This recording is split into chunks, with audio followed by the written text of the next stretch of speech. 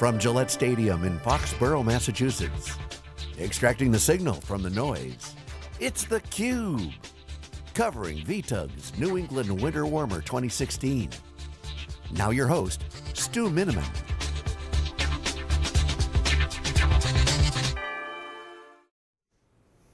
Welcome back to theCUBE. I'm Stu Miniman with Wikibon, and this is the VTUG 2016 Winter Warmer 10th year of the show, third year of having the Cube here, and no better way to be at a user group than to talk to one of the users themselves. Happy to have on the program for the first time Neal Reardon, who is the AVP of Information Systems and Technology for Central One Federal Credit Union, local company here in uh, uh, the New England area. Neal, thanks mm. for joining us. No problem, thanks for having me. All right, so, so Neal, uh, start us out. Tell us a little bit about your background, your role, and uh, for those that don't know Central One Federal Credit Union, tell us a little bit about the organization. Okay, cool. Um, yeah, so I've been in technology close to 20 years. I think uh, over 20 years. I don't, you know, if I add my months up right, but um, basically been doing IT, um, soup to nuts, help desk, started help desk, and then working my way up to, to management now. So, you know, I'm 16 years in on credit in credit union land, so to speak. So this is my fourth credit union that I've been at. So this was you know, we're, we've been around since 1952, um, started as a New England electric, um, you know, Mass, Massachusetts electric workers, and um, then they, we went federal in 1998, I believe, to be a federally chartered credit union, which means we have the Fed that governs us, so we have to make sure that we're up to snuff with, with most of our, our uh, offerings. Okay, so, so, Neal, how many locations do you guys have? Sketch out for us a little bit what your, your IT staff looks like. Okay, so we have uh, four brick and mortar branches. Um, obviously, we're, we're online with online services, mobile services, um, and we have a very small staff. We, we actually just hired our second help desk person, so there's, including myself, four of us that, that handle um, about 100 end users, probably 150 endpoints, I guess, as far as um, desktops go, and and um, you know it, it's there's always a challenge as to to how do we secure that for our members? And you know they expect that of us. So that's why it's you know it's always a, a, a crazy thing to, to, to try to tackle. All right. So the it, more it, more the merrier. and what technology domains fall under your purview? Um, everything, I yeah. guess. Anything that runs on a computer yeah. or electricity, I guess, um, falls under me. I, I, think you know the phone system, the you, you, know the the networking, the the storage, the um, the desktops, all that stuff, as well as the other half of me um, is data operations. Okay. So it's all the day-to-day processing. So I know right away when stuff isn't working. Yeah. Uh, okay. So that, you, you, you talk about the, some companies. One of the challenges they have is like, oh, well, I've got this group won't talk to that group. You just have to have the the two sides yourself and everybody involved. You know, you, you don't have some of those organizational issues, I guess. No, it's a it's more of an internal Incredible Hulk type battle, I guess, uh, that, that, we I get into. All right, but so uh, can you sketch, tell us a little bit about uh, kind of your, your infrastructure, what do you have, uh, you know, what, what kind of virtualization, compute, server, network? All right, so a couple years ago we virtu we P2V'd everything, um, 30 physical servers, now we're at 85 virtual servers in just a couple years. Um, we, we actually, um, we reduced our, our footprint by, by choosing SimpliVity OmniCubes. So we went from two and a half physical racks to 4U. Wow. So that was actually, um, you know, from a, just a, a, massive amount of heat generated out of that one area that we went from 60 plus power supplies to, you know, six, eight, because we needed, we had like, you know, a physical domain control, that kind of thing. So it wasn't just the two OmniCubes, but for the most part, you, you know, it's our footprint significantly reduced, um, as well as we were able to do um, disaster recovery, which is a huge thing for, wow. for credit unions. Okay, so to take us back to kind of some of that decision point. So first of all, going P2V yeah. is a big change, and yeah. then you're going from, uh, you know, physical servers with you know storage uh, and moving to a hyperconverged. So I mean, you went full in and jumped in uh, for multiple changes. Uh, can you walk us through a little bit of that process? You know what you looked at, you know why you made that decision, and you were pretty early on on on especially from a SimpliVity standpoint. Sure. Yeah. Um, I I believe they they went general availability January of 2013. I started at the credit union February 2013, and by March April timeframe, we had chosen SimpliVity as the option to help us virtualize, you know, the, the equipment we were going to use to virtualize it. We, you know, um, we looked at all the different, you know, looked at three different solutions. One was SimpliVity, one was the typical um, EMC solution, so that had um, hosts and switches and storage OMI, and, and same with the, you know, what I, I like to, I, I likened more to a hybrid, which was Nimble and regular hosts. Um, once we, knowing that we went to um, an Oracle, we had an Oracle database that, that is our, you know, core system when we added, um, when we looked at doing that, everybody else doubled their their appliances to their host to, to help us get to that compute that we needed. Um, so we went from two and a half physical racks to three and a half physical racks with the other two solutions. Where SimpliVity, we doubled the memory and, and everything seemed to work out pretty well. I mean, you know, knock on wood, so to speak. Yeah, so, so, VM density was what, one of the yep. things that, that, that really helped you. Absolutely. Bunch. I mean, it, it, I think you know, just from a there, there was there was a lot of different benefiting factors. One was, um, you know, cost. Just from a licensing standpoint, it was a lot cheaper, um, and I was able to do DR. That that was a big thing. The you know the the the budget was already set when I walked in the door. So, you know, when um, they gave me the option when we saw all the stuff and they were pushing off DR another year, knowing that how important disaster recovery is and you know business continuity in our in our position. We have to be 24/7 and you know um, this allowed us to do that. Yeah, so uh, I, am just curious, you know, what sort of risk was involved there? I mean, were you the one driving this and kind of putting yourself on the line here? Because if, you know, moving from, you know, kind of a, you know, solution where, you, you know, you mentioned some big vendors out there, you know, you're probably not going to get fired if something, you know, doesn't go as opposed to, you know, buying a startup. Yeah, um, definitely a leap of faith. Um, we, we, uh, you know, it was my ultimately my decision. There, there, were a group of people that had the ultimate choice. I had to go in front of the board of directors and, you know, kind of, you know, tell them what I was thinking. Um, and for whatever reason, they, they picked up what I was putting down and, and they, uh, I don't know, I felt like I'd sell ice to Eskimos when I walked out of there because it was just one of those things that, you know, I can't believe that they, you know, this was a leap of faith for not only them, but me, like throwing myself out there. I mean, I, I just come, come off doing a, a refresh with, the typical solution, and it just, you know, we, we had to do. I wanted to see something different, and as a nerd, it, it I was like, this is fantastic. Yeah. All right, Neal. So walk us through kind of the experience. So once you've got it installed, you know, were there any issues there? What about you know upgrades, expansions, uh, and, and, the like? You know, what's it like uh, on on this solution? Uh, it you know just like anything else, it's VMware. So it's you know we. Uh, you know that makes it a lot easier to, to digest. I mean, it's it's not like we had to learn a, a, you know something brand new. Some of us, some of the, the, the staff had to learn it. It's the first time they'd seen it, but you know, just from a virtual standpoint, it's so much easier to have everything on a single pane of glass, as everybody here can can attest to, I'm sure.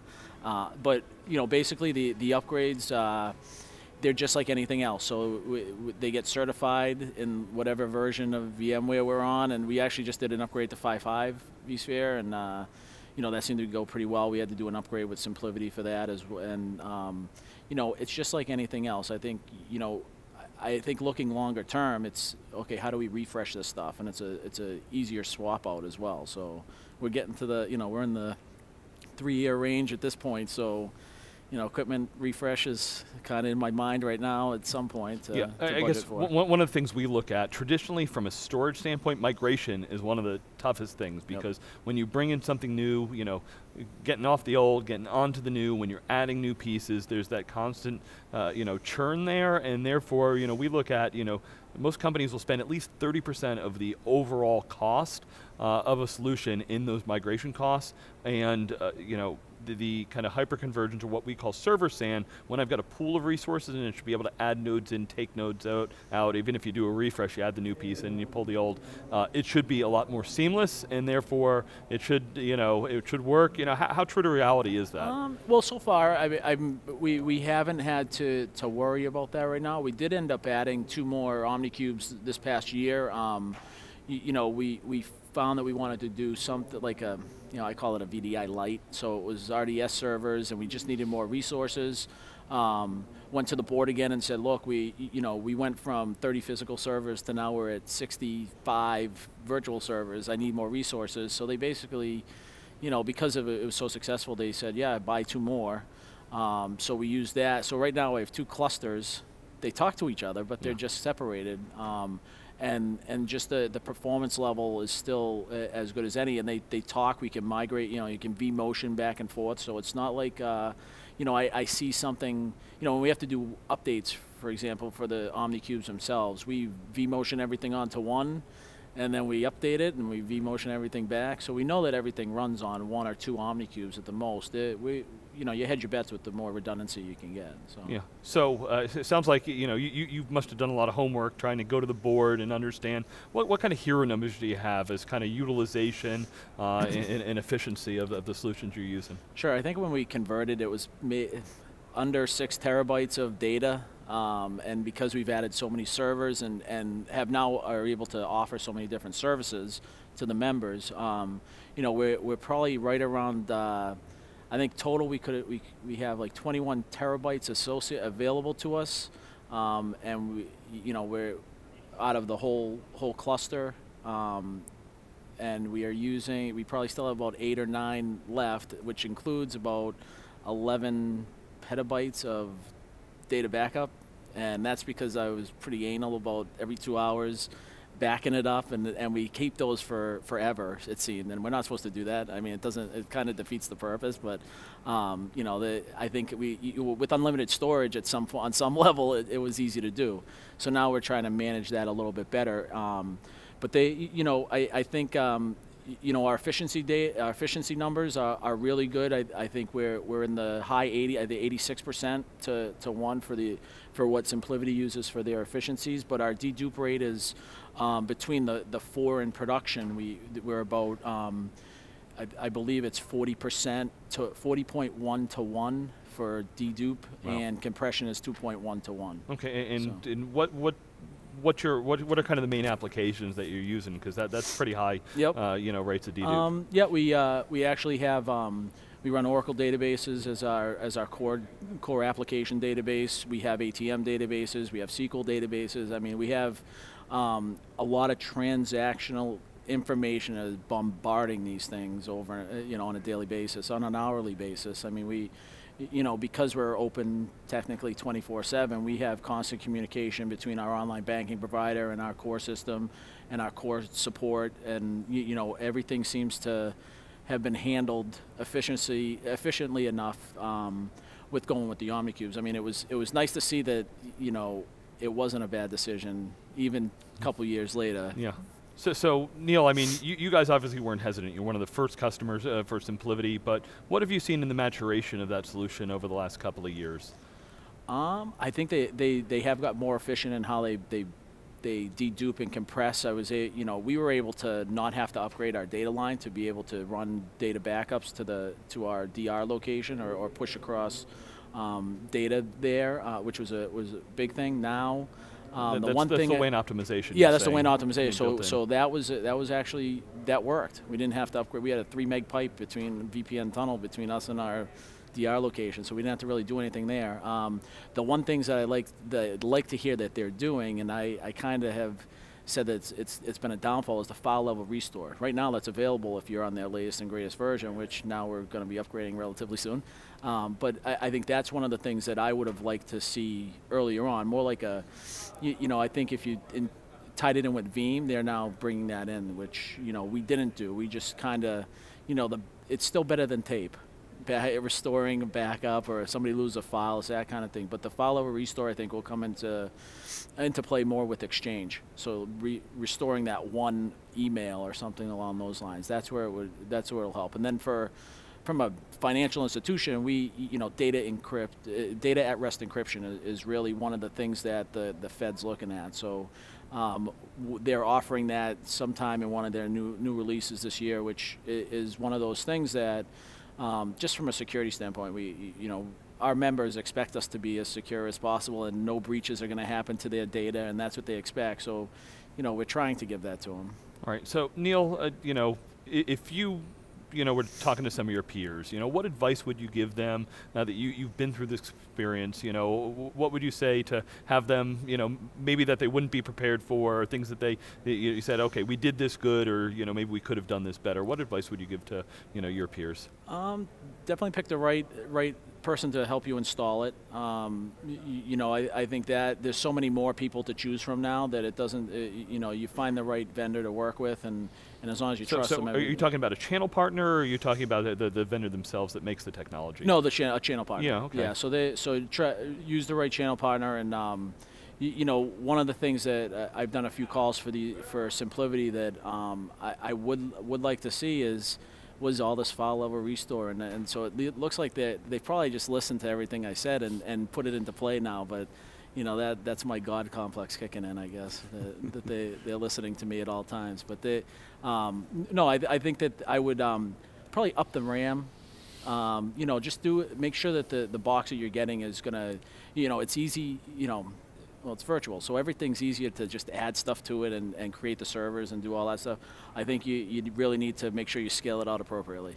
Okay. Um, are, are, are, is your uh, company using any public cloud today? You talked about kind of the well, you know web services that you have. Do you host everything yourself, or everything's you know? in house? Yeah, okay. minus our our website. So okay. that's hosted from our online service provider, which. Okay. Um, you know, but everything else is we, we host, you know, in, internally. Okay. I think. Yep. No, I'm just kidding. All right. Uh, so, Neal, have you been to this event before? Uh, I went to the one in Maine over the summer. Yeah. You know, Gritty McDuff's. All right. So, so what, what do you find is kind of the, the value? What what brings you to the user uh, groups, and uh, you know, what what do you get out of it? Oh, I think it's cool to see all the new technology. I mean, the, the, you can only read so much online, and, and you know it's kind of nice to see it. And, and even and then if you're interested, there's breakout sessions for you to be able to actually listen to and, and possibly ask a question, or at least approach some of the some of the, the vendors that while they're here. Um, you know, I you know also making contacts with people. You, you know, I, I, you don't really see. You know, I can't go home and talk geek talk with my wife. She's she just like zones out and doesn't listen. And there's not too many people that want to do that. But if it's during the day and everything, you know, everybody it seems to be a, a, a, good atmosphere to collaborate with people and, and get to know um, different people because I, I mean I'm definitely the dumbest guy in the room, so it helps me to figure out who I can talk to and to, to help me figure stuff out. All right, so Neal, I've got one really important question for you. So uh, you know, what do you think about the Patriots' chances here for uh, you know the, the, the, rest of the playoffs? Uh, the I know they're going to win, so yeah. they, they I, going to go all the way? I think so. Yeah. yeah trophy number five. Trophy number five. All right. Well, we'll have a big parade. All right, Neal. We, we have got this uh, on record. So you know, when, when, when, the Patriots uh, you know have the parade and uh, you know Brady and Belichick you know ha- have their fifth trophy, you're going to be able to point back and say uh, you know I, I, I, called it. So yeah, I got uh, my style from Bill Belichick. So absolutely, just got to cut cut the sleeves I off. cut the so, sleeves. Yeah. all right. Well, Neal Reardon, really appreciate you joining us. Uh, we'll be back wrapping up our coverage of the VTUG 2016 Winter Warmer. Thanks so much for watching. This is theCUBE.